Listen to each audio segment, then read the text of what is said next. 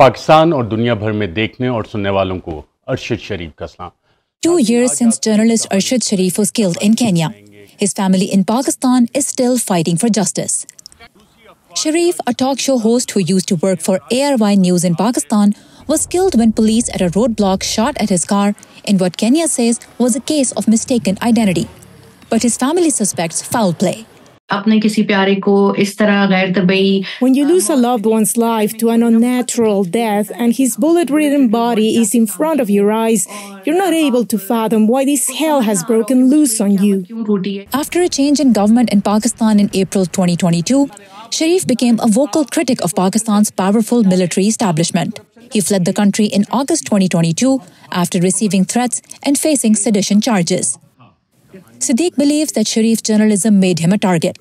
The UN in September called for Kenya and Pakistan to step up efforts to investigate the murder, citing a Pakistani government report that it was targeted assassination by transnational actors. Nobody could silence him when he started to speak. He always had documents and money trails to prove a point, so he became a problem for the country's ruling class.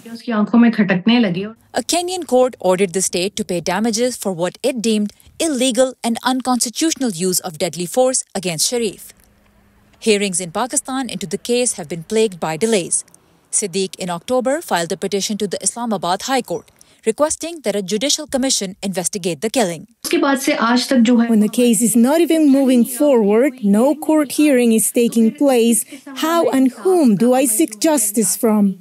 Pakistan ranks as the 12th worst country for securing justice in the killings of journalists. And the country has seen a rise in deadly violence against media this year, with at least six deaths, according to the Committee to Protect Journalists. there is a clear link in most cases between a rise in attacks on journalists and a worsening human rights or uh, rule of law situation in a particular country. And and that's i think true of pakistan. A lack of justice in these cases is a major threat to press freedom, the watchdog says. And more than a decade since the creation of the UN's International Day to End Impunity, nearly 80% of journalist killings worldwide remain unsolved. For Tabinda Naeem, Sarah Zaman, VOA News.